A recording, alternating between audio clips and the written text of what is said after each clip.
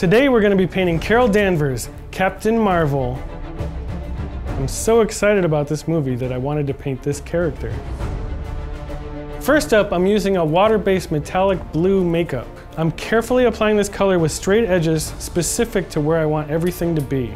In order to get these crisp edges, I'm using my shields. I'm doing this because I don't want this blue to mix with any other colors on the body painting. Using my reference, I'm going to do the same thing now with the color red.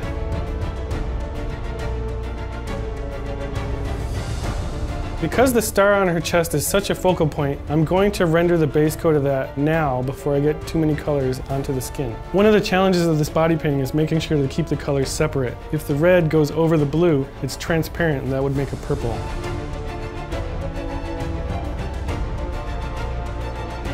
Now using various pre-cut shields that I've created based off of the actual design of Captain Marvel, I'm going to apply gold makeup.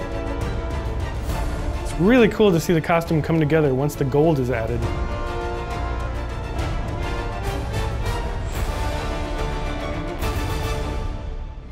Now using a dark gray makeup, I'm going to add shading and details throughout the body painting.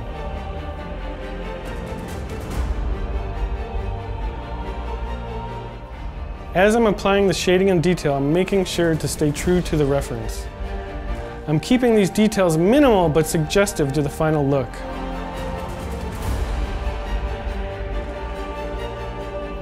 If you're ever going to take a stab at body painting, make sure to use makeup that is FDA compliant for use on skin.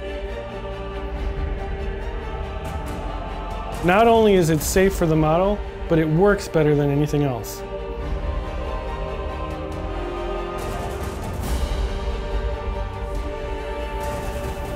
It's always a lot of fun to replicate comic book characters, especially these strong female leads.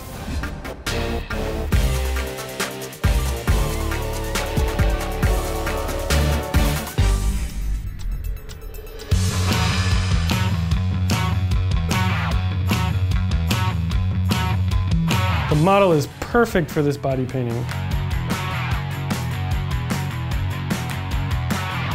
It's fun to see the body paint come to life through the model. She really brings it to action with all her crazy poses and energy.